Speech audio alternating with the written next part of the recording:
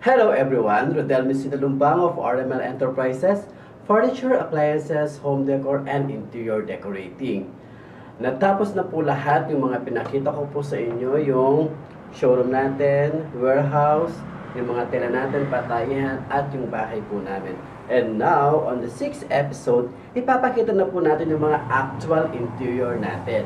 And the first actual interior na ipapakita po namin sa inyo ay ang customer natin sa Angeles City.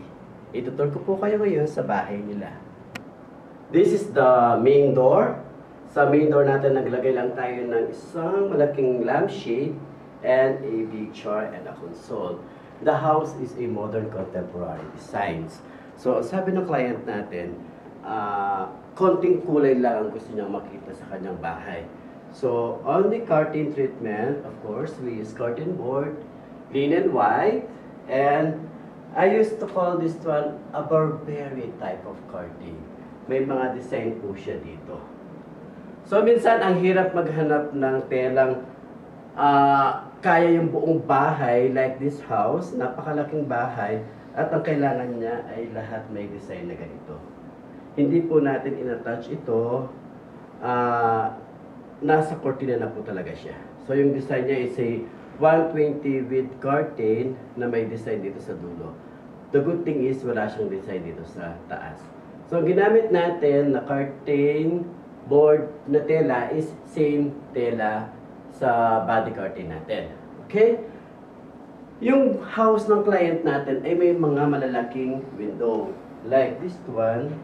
So from the ceiling up to uh, I think around 8 inches only from the flooring uh, yung window niya. So, kailangan talaga ng malaking window treatment. Okay?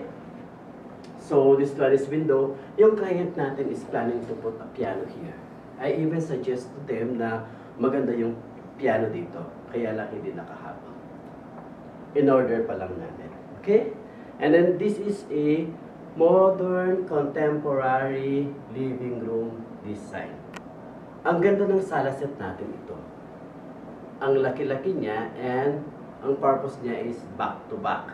Pwede kang umupo dito, pwede kang umupo doon. And pwede rin siyang lanay area na pwede pahigaan. So, namumove yung pinaka backrest niya. So, nasira yung uh, throw pillow arrangement ko. Okay? So, pag binalik natin siya, ang ganitong klaseng ah, sala set is bagay kapag maluwang ang living room area natin. Kamukha nito, napakaluwang niya. Pwede kang pumunta dito, pwede kang dumaan doon. So, pwede yung back-to-back purpose ng ah, living room natin. And of course, yung pinaka-center natin dito is a lazy boy. Two-seater. So, habang nanonood ng TV yung client natin, makakapag-relax siya dito. Okay? Then we use colorful uh, rug. So, kung mapapasin nyo, ito lang yung may kulay or maraming kulay sa uh, bahay. Why? Because yung flooring is all white. So, sabi ko, lulutang ang ganda ng carpet kung gagawin natin medyo makulay. And then, of course, Burberry type of uh, pillow, tetelo po yan sa ating curtain. Okay? Dapat ginagawa natin yun. Nagko-compensate yung mga items natin na nakikita sa uh, curtain, sa living area, and uh, sa dining area. Okay? So this is, I just put um, floor lamp sa both side ng pinaka-centerpiece ng sala natin. So, hindi na ako naglagay ng ah, side table, floor lamp lang, kasi nga, ah, we use this area. And then, in this area, we use this area also. So, para walang sagapan. And a big, big, big marble ah, center table. And dahil nga, very modern yung client natin, glass lang ang linagay ko dito, na walang flowers. So, as I've said, add number tayo lagi, 1, 2, 3, and then another uh, crystal pieces and add number also, 1, 2, 3. Then I put ottoman over here, add number also. One, two, three. And a big, big, big, big, big lanai uh, sofa over here. Okay? It's a modern house, kaya from the living room, from the receiving area, from the living room, going to dining area. Isang malaking tagusan lang yan. It's a 8-seater dining here. Personal choice ng client natin ito in red uh, leather and uh, glass uh, top. 8-seater and a big, big, big sliding door here. So, we use mechanism over here. As per requested by our client, kasi ang ganda-ganda ng lanay area nila dito. So, ah kapag marami tayong bisita, pwede nating open ito, open iyon, lalaki yung dining area natin. Kasama yung lanay. Pero kapag family lang, close this one,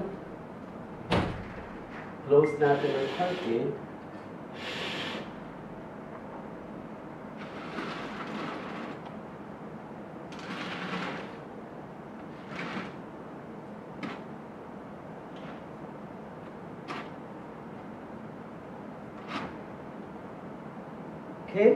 Okay? So, sarado na siya.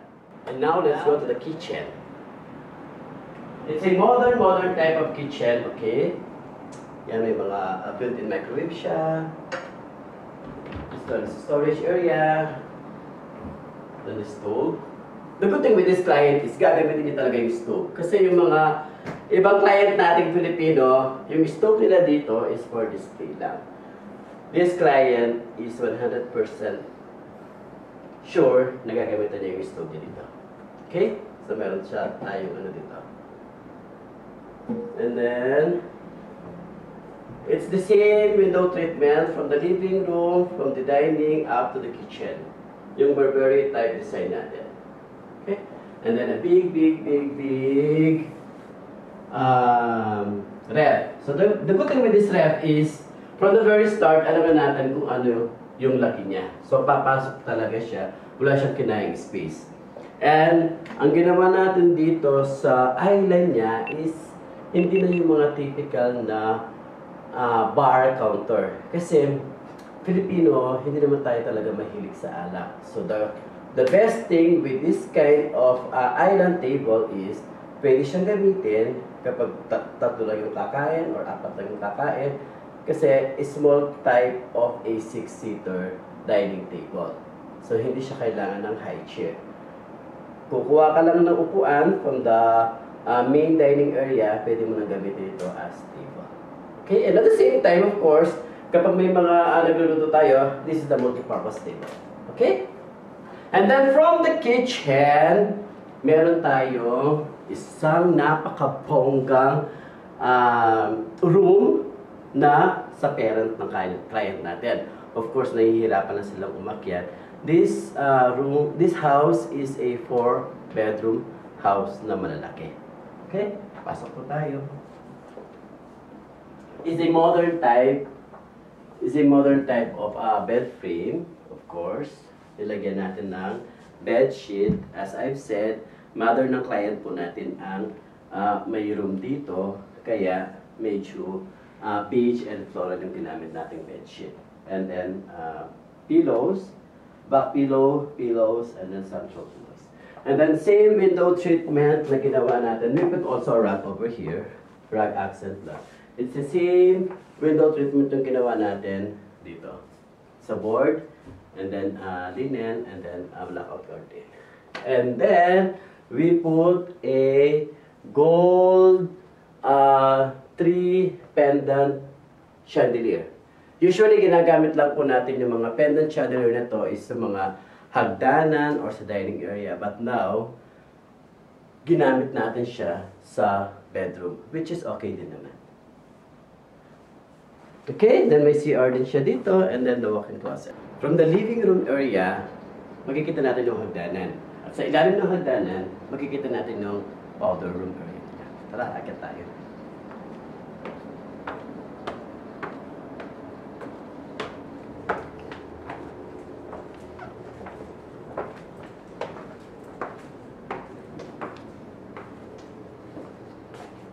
Window treatment, kung, okay, kung mapapansin nyo, maliit lang yung bintana over here. Pero, as I've said, hindi po tayo nagko-cortina ng maliit. So, kahit maliit lang siya, lalaparin natin at hanggang flooring din yung treatment niya. Okay? It's the same thing here. Ah, maliit lang yung window dito, pero hinaba po natin.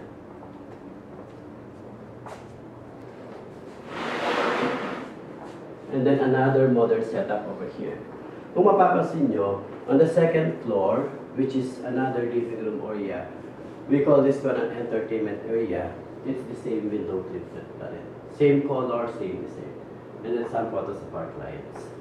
Pasok po tayo ngayon sa master bedroom. Sa master bedroom is a king size bed, a 72 by 78 uh, bed frame and bed mattress.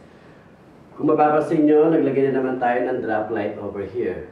Nag-experiment po tayo.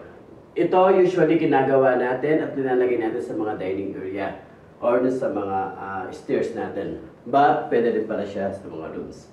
Okay? So naglagay tayo ng dalawang malaking lampshade here and a window treatment. Ito po talaga ay mga window. Ang window niya is hanggang sa ibaba. So, talagang kapag po ang window is hanggang sa baba, hanggang baba talaga yung treatment niya. But of course, yung isang window is hindi naman hanggang sa baba, pero pag naglalagay tayo ng window treatment, lahat siya is pantay-pantay. Okay? Another guest room. Guest room, pero yung setup natin is pang boys. Kasi yung client natin, marami siyang pamangkin. So sabi niya sa akin, just uh, do the setup for the boys pamangkin. So dito daw sila matutulog. Uh, we just use uh, 54 by 78 uh, bed and maglalatag na lang sila dito kapag dumami yung mga uh, pamangkin niya. Actually, this house is a uh, ancestral house ng uh, client natin. Okay? And this time, we use Roman shade uh, window treatment. And then may accent siya dito. Okay?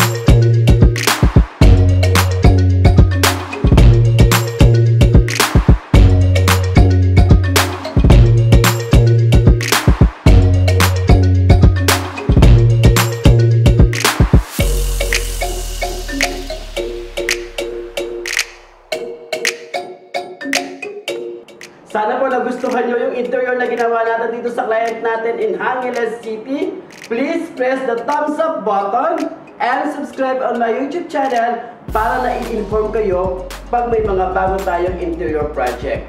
This is Rudel Messina Lumba. Bye-bye!